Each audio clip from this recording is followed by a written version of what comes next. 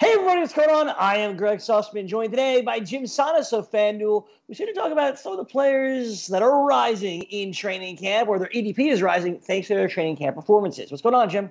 It's all good here, Gregg. It's been tough to try to decipher who should be on the rise and who shouldn't because there has been limited information coming out of training camps. You have to dig pretty hard to try to find some of this stuff. But when you see consistent blurbs about different players, I think that's a time where it's more okay to buy in. So we're trying to focus on guys who have gotten those consistent, positive, uh, positive blurbs about them to try to see if we can buy in to increase roles for 2020 it's super tough not having our own eyes watching preseason games to figure out who we like and who we don't, who's going to get usage and who's not. We're just using blurbs, like you said. Man, yesterday's blurbs on the internet were saying that Devin Singletary fumbles the ball a lot and that Devin Singletary is not going to really score many touchdowns and that Zack Moss just keeps looking awesome. So you know whose ADP is rising? That would be Zack Moss. ADP sits now at 82.7 uh, at the moment.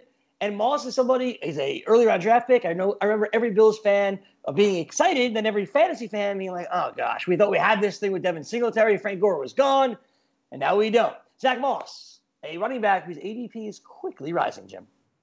Yeah, honestly, the fumbling is kind of just a cherry on top here for Devin Singletary because Zack Moss was getting positive blurbs even before that. And it wasn't because of his early down work. I kind of assumed that Zack Moss would get early down work for the Buffalo Bills. What we want in fantasy football is high leverage touches. That means touches near the goal line and touches in the passing game. And Moss has gotten a lot of positive blurbs for his work as a receiver out in Buffalo. So I think the odds that he winds up getting passing down work are getting higher. And that's why my impression of Zack Moss is getting higher as well. I had assumed going in that Devin Singletary would be that passing down guy because he looked pretty good in that department last year. But now, if Moss is going to get both touches near the end zone and through the air, that's a lot of value for fantasy football. So, yeah, uh, people are getting excited about Zack Moss. He's going earlier and early in drafts, but I think that's justified. And I'm still okay getting him where he is currently going. I have him at pick 83 right now in my ranks over on numberfire.com. He is right at pick 83 in ADP. So I think that he's going where he should. And if we continue to get positive news on him, I am not opposed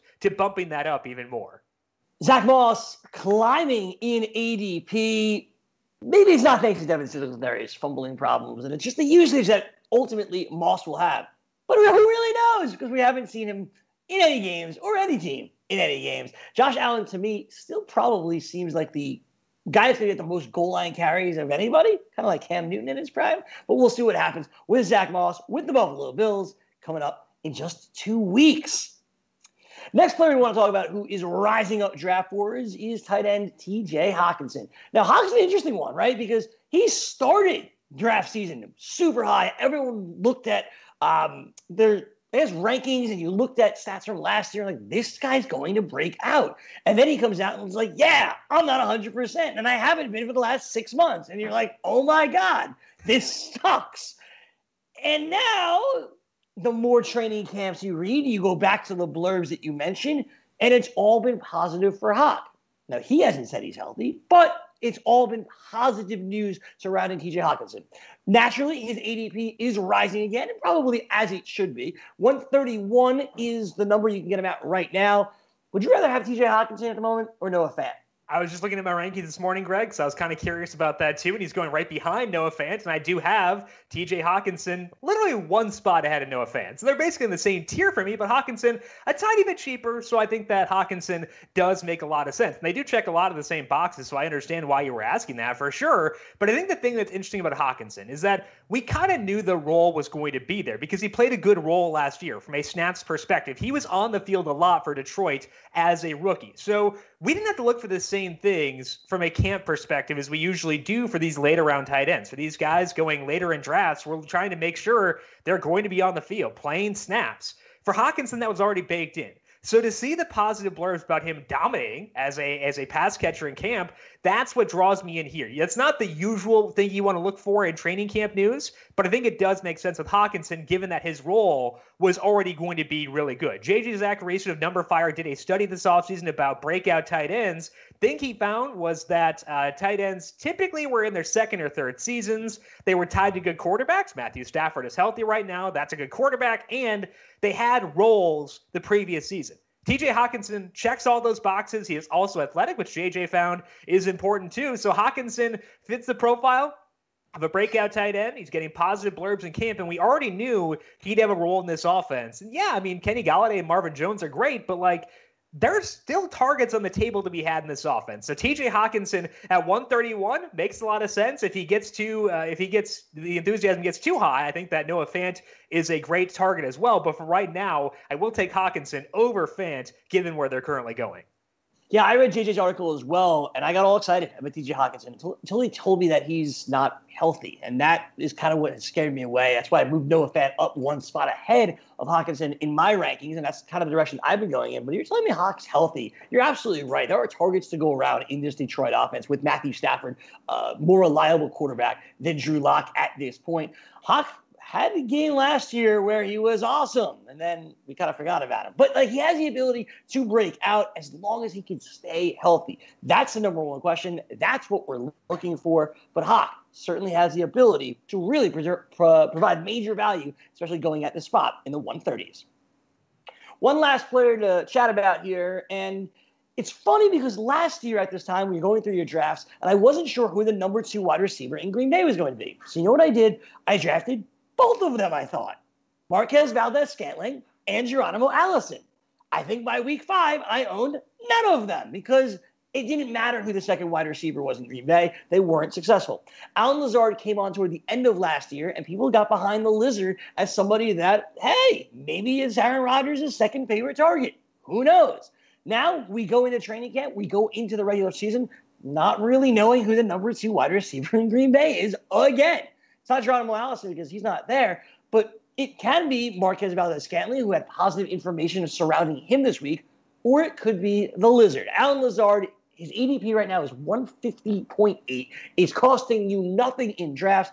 I'd like to say the upside is high because Aaron Rodgers is throwing him the ball, but it doesn't seem like the same Aaron Rodgers or the same Green Bay offense we're so used to seeing. But when it costs you nothing, Jim, it's probably worth taking a shot, right? Yeah, I mean, what's the downside? There really is no downside for Allen Lazard because where he's going, the floor for most players there is non-existent. So you might as well go with a player who has a role in a good offense. And it seems like that's exactly what Lazard will have. All the, the buzz from camp has been that Lazard is running with the first team offense consistently, kind of confirming what we saw in the playoffs last year. In that final game against San Francisco, once he was a bit more healed on that ankle injury, Lazard played 92% of the snaps for Green Bay in that game. So it shouldn't be a huge surprise to see his snap rate with the first team offense be as high as it has been in training camp thus far. But he's also getting another year in this offense, another year of experience there in Rodgers. And like you said, he's still going to pick 150. If you can get a guy late who is six foot five, has decent speed, and is tied to Aaron Rodgers when there's not a ton of competition for targets, I find that really intriguing personally. So, sure, you know, you could question Lazard's ceiling because Davante Adams is going to get probably 30% of the targets in that offense, which is an absurd number. But if Lazard can carve out like a 20% target share, like an 18% target share in that offense, I think that could be intriguing. There are concerns because Rodgers' play was not as great last year. Maybe they want to be a rush heavy team. There are legitimate reasons to be concerned, but when when the draft capital is so low tied to Lazard, why not? Why not take a chance on him and see what he can do? He is a guy who has talent. Aaron Rodgers has praised him just this week again. So I think that it does make sense to roll the dice on Lazard, see what happens, and then proceed from there. You're just looking for upside in the back end of your draft. And why not go to Green Bay? Why not go with Aaron Rodgers? Because the other choices probably aren't nearly as fun. Maybe Allen Lazard can become that next great wide receiver with Green Bay. And if he doesn't, you could drop him and it won't feel so terrible. Jim Sannes, we appreciate the time. Good luck with everything this weekend. Same to you, Gregg. Definitely appreciate it. Looking forward to talking to you once again on Monday. Absolutely. I, I feel like, and I have no idea what the schedule says, but I feel like we probably should talk about some training camp fallers after today's episode. Does that make sense? I will take that in consideration and take it up with the powers that be, which are technically kind of me. So sure, that sounds good to me. Fantastic. Nice and easy. For Jim Sannes, I'm Gregg Sussman. Have an awesome weekend, everybody. Enjoy your drafts. Good luck. And Jim and I will see you back here on Monday. Thanks for watching.